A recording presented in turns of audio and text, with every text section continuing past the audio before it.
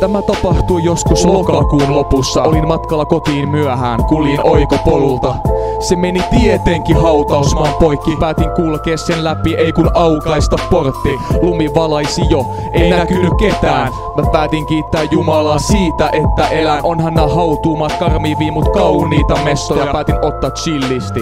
Katoin useita kertoja sivuille ja taakse, mut autiota kaikki tyyni. Tosin tuntui siltä, että yytsi joku, joka ei oo fyysistä. Painostava tunne alkoi kasvaa, joten laitoin jalat alle, että pääsin nopeasti ihmisten ilmoille takas. Vastakkaisella portilla se ei meinannut millään aueta. Samalla tunsin kuinka kädet alkoi tavoittelee mua voi kauheeta. Aloin kiiveä portin yli, ne repi vaatteestani palasia, mut pääsin sentään ehin nahoin takas himaan.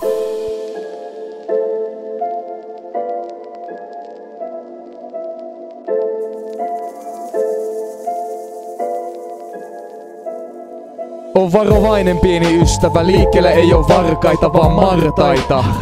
Pysyt sä kartalla, tänä yönä on henkivoimat vallalla. AV, liike kannalla.